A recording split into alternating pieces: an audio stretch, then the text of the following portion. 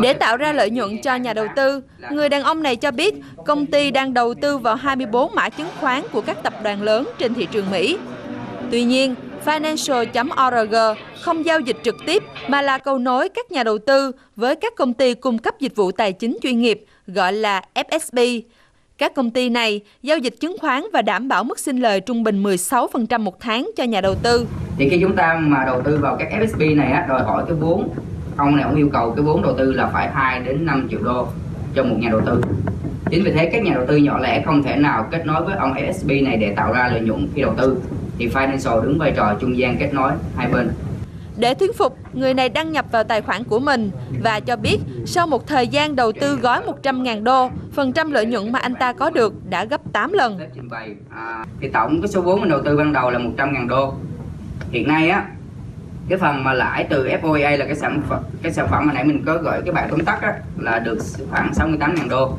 Và cái phần hoa hồng của mình rơi tầm khoảng 800.000 đô. Thì cái như vậy là cái phần trăm lợi nhuận trên số vốn của mình 100.000 đô rơi tầm khoảng 861 phần trăm. Với mức lãi có được chỉ nhờ đầu tư chứng khoán này, theo các chuyên gia, đây là điều không tưởng.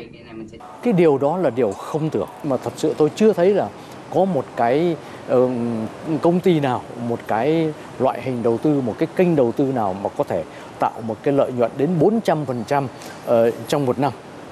Chuyên gia này cũng cảnh báo có thể đây là mô hình biến tướng đa cấp đang xuất hiện phổ biến trên thế giới hiện nay. Và lời cảnh báo này cũng có thể đúng khi theo các tư vấn viên, ngoài mức lãi suất cao cho các gói đầu tư, người chơi còn được trả hoa hồng khá hấp dẫn nếu như kêu gọi được người khác vào đầu tư. Ở đây gọi là xây dựng hệ thống. Nó có bốn loại hoa hồng. Một á, là hoa hồng trực tiếp. Ví dụ anh giới thiệu cho em, anh được 6%. Nếu anh giới thiệu ra 50 ngàn cho đến dưới 100 ngàn thì anh được 8%. Và 100 ngàn đô á, là khoảng 2 tỷ tư, á, chưa tới 2 tỷ tư á, thì là 10%. Một điểm đáng chú ý khác, dù bỏ vào hàng nghìn, hàng chục nghìn đô la Mỹ, nhưng các nhà đầu tư vào đây chỉ nhận được một mã ID đăng nhập vào tài khoản giao dịch trực tiếp trên website financial.org, chứ không có một hợp đồng nào với những điều khoản cam kết ràng buộc rõ ràng.